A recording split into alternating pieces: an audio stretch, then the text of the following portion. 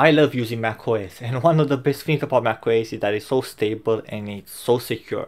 But there's one application that I really love from Windows and that's Wallpaper Engine. I really love the idea of having a wallpaper that is animated or I can put a video wallpaper of my own choice on my desktop and having them together.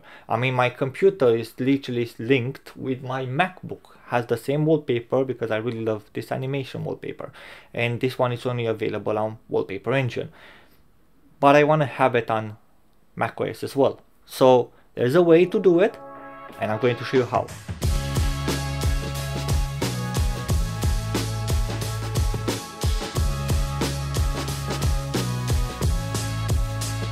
So the first thing that we need to do is go to our App Store. Now, when you open App Store here, you just simply search for dynamic wallpaper.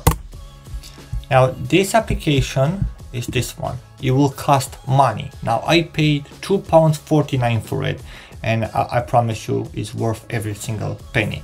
Now once you install it, you simply just open it. And the moment you open it, you will have it here on the top. So you go, for example, you have workshop, playlist and downloaded. So downloaded are the ones that you add or you download for them because they also have a workshop. So here you can select, for example, this one, we will see how it is. And if you like it, then you can uh, set it up as a wallpaper.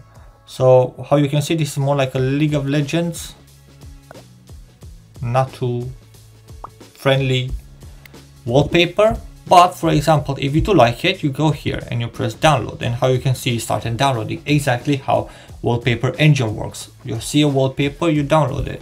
This one, for example, the same thing. You preview it or you can directly download it. Some of them they will have music, some of them they won't have music. So you have to be careful there, especially if you're making videos, uh, be careful with copyright.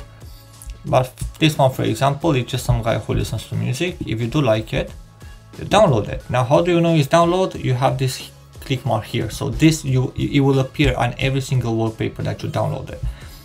Once they are downloaded, you just go to download it here and how you can see I have my wallpapers here. This one is still loading because it's still downloading. Well, now it's finishing and it's here.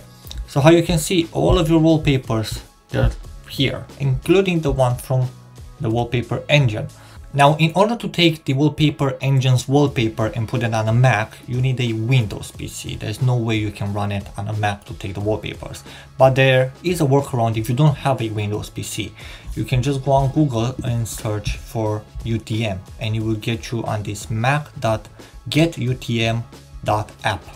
Well, this one will literally run Windows for you on your Mac. So you will use a virtual machine technically. You download Windows and it's completely free and you just install Windows on it, then you install Wallpaper Engine and then you follow the steps that you're going to see right now. So there's two ways that you can do to get Wallpaper Engine on your macOS. So the first one is very easy.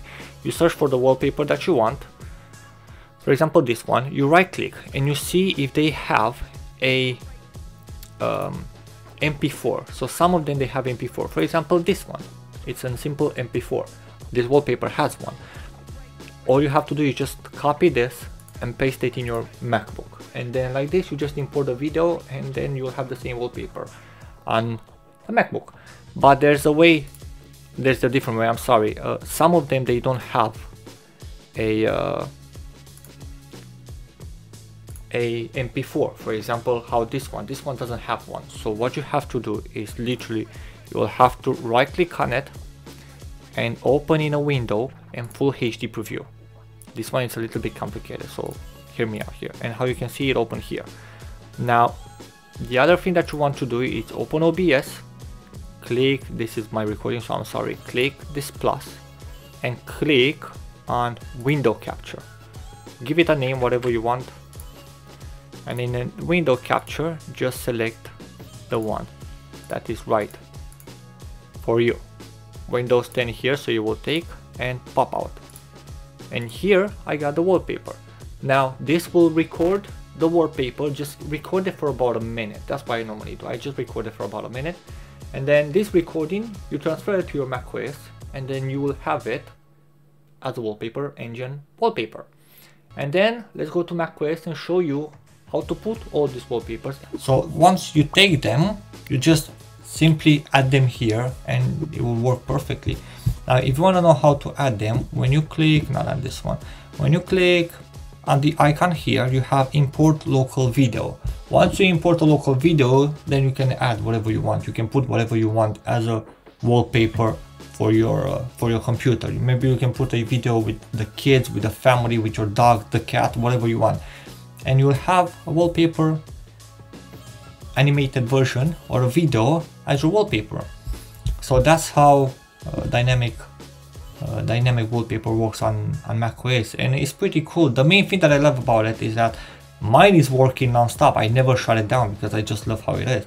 And my computer, it's a MacBook uh, Air with M2, the 16 uh, inch one. And I don't feel the difference with or without it. The battery is not getting affected at all. So it's really, really good optimization. But yeah, if you do like the video, please don't forget to leave a like.